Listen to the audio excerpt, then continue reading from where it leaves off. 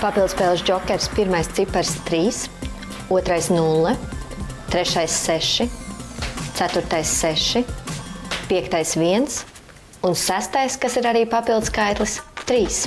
Papildus spēlē jokers laimējuši kupona numura cipari 30, 66, 13.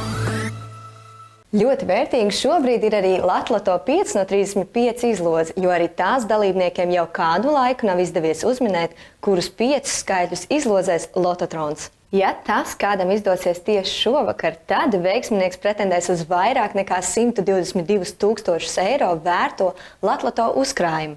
Ja paveiksies un sakritīs arī jūsu izložu kvītīs norādītais papildus skaitlis ar tikko kā izlozēto, tad varat laimēt šī vakara lielo laimestu - 222 013 eiro. Aiziet!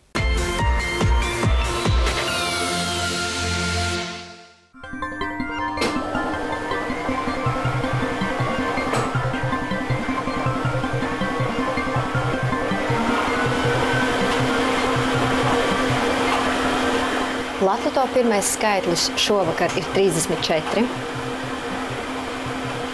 otrais 16,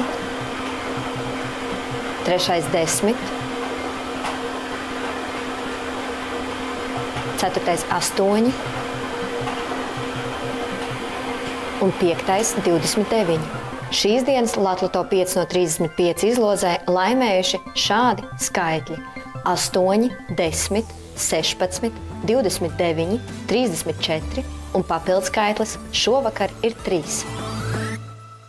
Ja par savu gribat saukt papildus spēles jokers septiņu lielāko 750 tūkstošus eiro laimestu, tad piedaloties skaitļu izlozēs jāatzīmē arī dalība šai papildus spēlei un stingri jātur īkšķi, lai sakrīt visi septiņi cipari tieši tādā pat secībā, kādā tos tūlīt izlozēs Lototrons.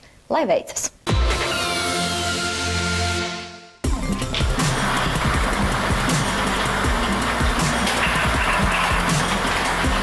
Papildus spēles jokers 7, pirmais cipars 4, otrais 6, trešais 4, ceturtais 7, piektais 6, sastais 2 un septītais 2.